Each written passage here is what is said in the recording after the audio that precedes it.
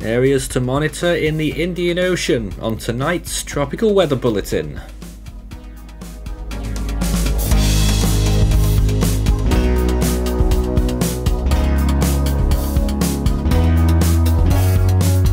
And now the latest around the wide world of tropics.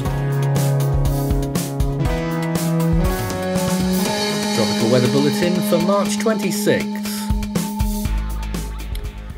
Around the world right now, we are still waiting for our 12th named storm of the year so far, and if you think that's quiet, it has been the quietest start in terms of those numbers since 2017, when we were only at 9 by this point. Of course, this year we've certainly had quality over quantity, certainly in the case of Freddy earlier on.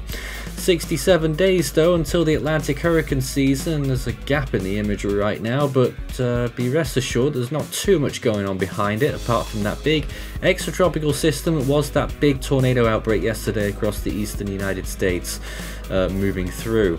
In the southern hemisphere though, this is where the tropical activity is at. There's two 10% areas now in the southeastern Indian Ocean towards the coast of Indonesia and Australia, and you can see both of them there. The eastern one is really on borrowed time, about to run out of time actually. The one to the west is the one that should become the dominant system and could go on to develop into a significant tropical cyclone next week. On the left hand side, as we move further to the southwest Indian Ocean, we've still got that other area of interest that we had marked a while ago. It is quite visible on satellite imagery at the moment, but it too doesn't have very much time at all, and it will probably be out of here in the next 24 to 48 hours and without developing. So the tropics looking fairly quiet at this point with just these three low chances in the next five days. Satellite imagery looks like this and you can see a few areas of enhanced rainfall amounts, mainly across Africa and over parts of South America. Uh, but elsewhere, things are looking fairly quiet on the whole in terms of precipitation. Not too much going on from those tropical signatures. And here is the wide shot looking at the southwest Indian Ocean and the whole western region, to be honest. And you can see there some rotation, certainly convection blowing up to the east of Madagascar from that system that has a 10% chance. Uh, quite a broad feature, but not much going on with it. This is the one further east, not far from Australia, the eastern system out of those three, and you can see there that it also is really struggling. We don't have a floater up for the middle system yet, because it's really just formed, so we are just looking at this one, and really there's not much left of it. No rotation really, uh, just a little bit of convection, particularly to the western side, that is also struggling as we go through the course of this morning. Also, we're still looking at Invest 95p. This is the one near New Caledonia, which we've now scrubbed from our charts as well, and you can see why. There's really nothing going on with this system either. A little bit of a rotation there, low level center possibly, uh, but it's extremely elongated. And on the eastern side, lots of convection blowing up, but it is massively stacked wrongly. It's really just all over the place. Sea surface temperatures then look like this, really warm now in the eastern Pacific in the uh, immediate vicinity off the coast of Mexico. Looking towards the Atlantic, it's also looking okay in the Caribbean Sea, 26 degrees plus, and it's just starting to expand just a little bit beyond the Greater Antilles as you'd expect at this time of year. The Indian Ocean looks like this on the northern side very warm sea surface temperatures in the deep tropics. Further north, still a bit of work to do in the Bay of Bengal. Southwest Indian Ocean, those temperatures starting to fall away a little bit in the uh, lower extremities there off Madagascar and off South Africa. Uh, those temperatures just going off the boil now from their peak earlier on. Temperature's still okay in the Mozambique Channel, but not quite as warm. And off the coast of Australia, particularly Western Australia, look at that extremely warm 32 degrees Celsius in quite a large pool there off Western Australia. So those two systems could have a real chance uh, as time progresses. And into the South Pacific, also good conditions in the deep tropics north of Fiji and around Fiji as well. There temperatures of 28 to 30 degrees Celsius. Western Pacific also looking very good in the Philippine Sea, particularly with those temperatures starting to increase and 26 not far from the coast of Taiwan now. It is above average in the Western Pacific at the moment, as it is the case in quite a few other locations now. La Nina effect is pretty much gone. We are in a neutral now, it must be said, and it, we are probably hurtling towards an El Nino later on in the year. As you can already see there, the Eastern Pacific equatorial region starting to get quite a bit of an area above average. Oceanic heat content looks like this right now in the South Pacific Ocean, and you can see there still that large line of red zone there. Coral Sea getting in on a little bit of that as well. Turquoise and above is decent enough, and this is the view in the uh, Northern Pacific side. The Western Pacific there in the Philippine Sea once again really starting to ramp up there in that zone, and that's been the case for about three or four weeks now.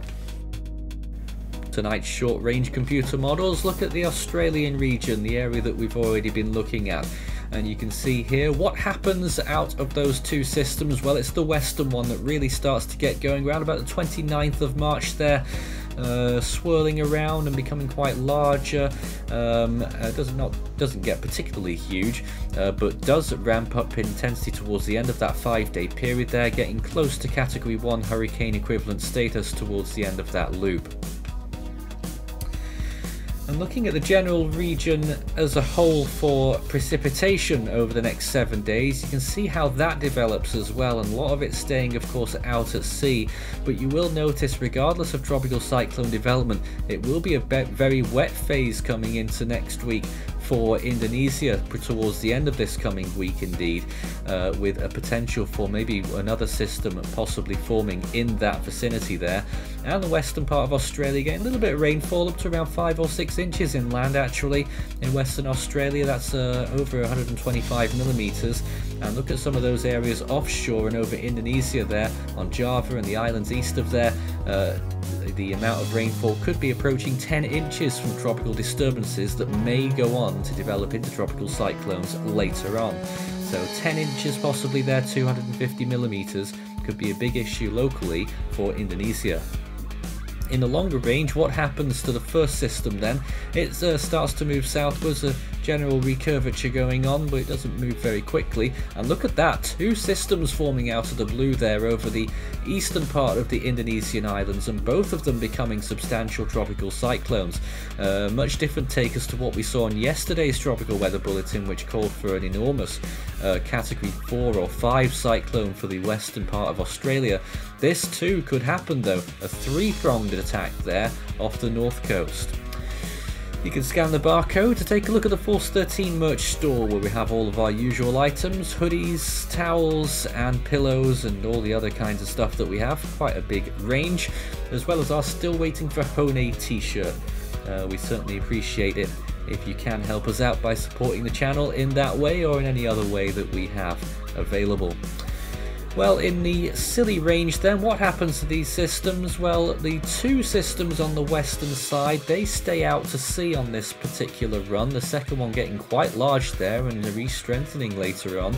And the eastern one splits the scene quite quickly there, grazing the northern top end of Australia there. In fact, it does stay at sea, uh, doesn't uh, pile through Darwin. It stays to the north there and continues eastwards and dies off over the Gulf of Carpentaria, possibly without making a landfall at all. So that's potentially a good case scenario there with those three systems, at least from an Australian perspective.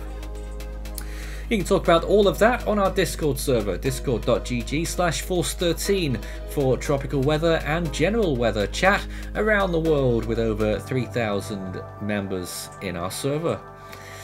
Well, on this day, on March 26, 1991, we had two significant tropical cyclones as well. We had uh, Cyclone Fatima, which was peaking as a 130 mile per hour Category 4, and behind it we had Cyclone Errol, which was going to peak at around 120 mile an hour winds today. Also, take note of a very interesting feature across Western Europe there massive band of cloudiness and convection there, spewing out all across uh, into the eastern Russian area there as well.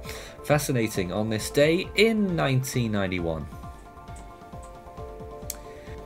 Back to this year and the upcoming Northern Hemisphere seasons, we'll start with Arlene in the Atlantic, Adrian in the Eastern Pacific, and Hone in the Central Pacific still. We are unclassified right now with no systems expected to form as we've seen 11 storms so far this year.